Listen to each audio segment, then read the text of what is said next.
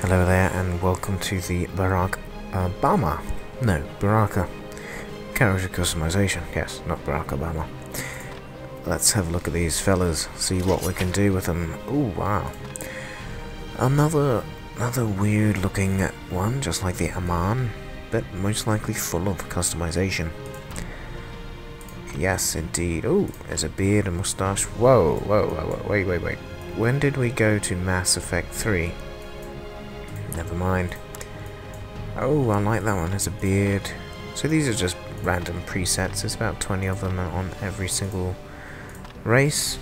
Um, and, oh, we can't go to features. They don't have any features? That's weird. Okay, let's just go to face and pick one ourselves. Uh, that one looks okay. Um,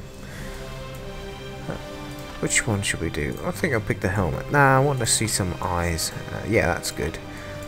Dormants, let's see what this does. Okay, changes colours. And um, that's it, just changes colours. That one's nice. Fine details. Okay, so there isn't as much customization as I thought there would be.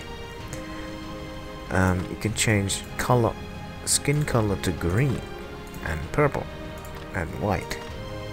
A green dude, I am the Hulk. There you go. Um, very quick video.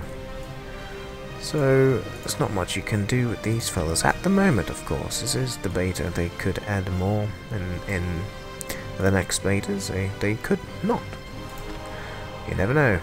If they add a features tab and add more to it, I will make a new video, of course, in our later betas. And let's have a look at their voice.